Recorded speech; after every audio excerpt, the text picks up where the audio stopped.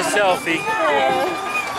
Taking a wagon ride to uh, Logan, Utah at the animal. I've lost words.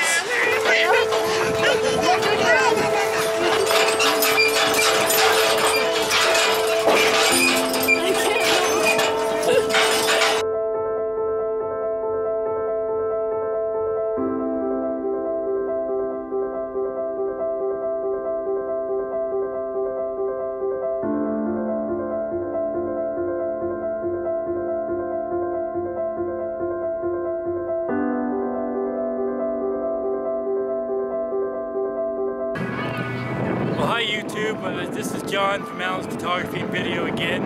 We're up here in Logan at the animal, uh, baby animal uh, fair.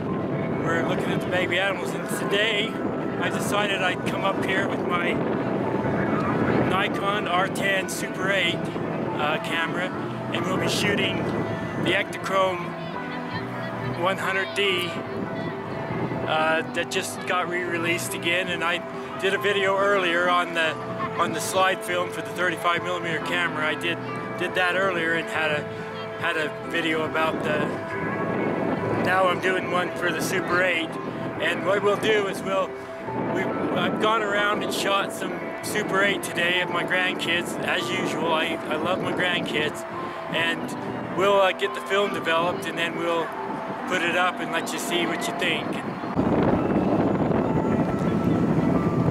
So anyway, um, yeah, I've just gone around and shot a few things with, with Super 8 using the Ektachrome 100 and if you like what you see and I'd like to have your some of your comments on what you think of the new film. This will be the first time that I've shot it. I shot it years ago when it was the original Ektachrome 100, but I haven't shot any of this new stuff until today.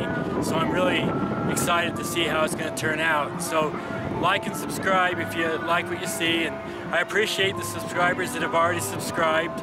Uh, I see that we're getting subscribers every day, and I appreciate that. So have a have a good one. See you on the next one. Thank you.